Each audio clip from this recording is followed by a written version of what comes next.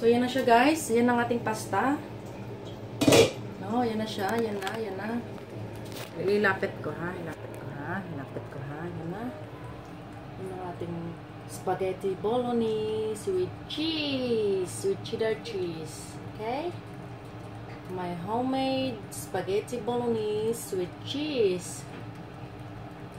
So, let's eat na guys. No, ready na yan siya. Okay na yan siya. Okay na, okay na, okay na yan, okay na yan.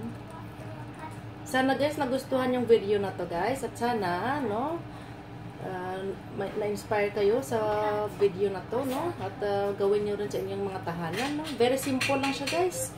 Uh, ano lang, uh, spaghetti sauce lang. Any spaghetti sauce. Or pa spa uh, pasta sauce. And then, cheese. Yun lang. Um, manok or baboy, minced pork, minced uh, beef, minced uh, chicken na karne pwede. Uh, onion, garlic, ma marama, meron yan dyan sa Pinas or saan man kayo. Pwede nyo gawin yan sa bahay nyo, no?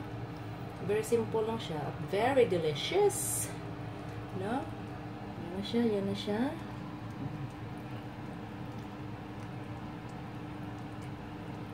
Yummy, yummy.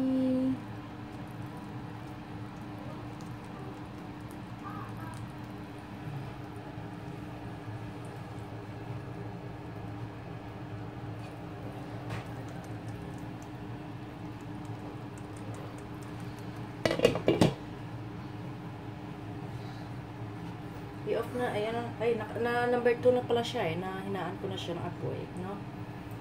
Alright guys, in a bit guys, thank you very much for watching. Sana po nagustuhan yung video na to, no?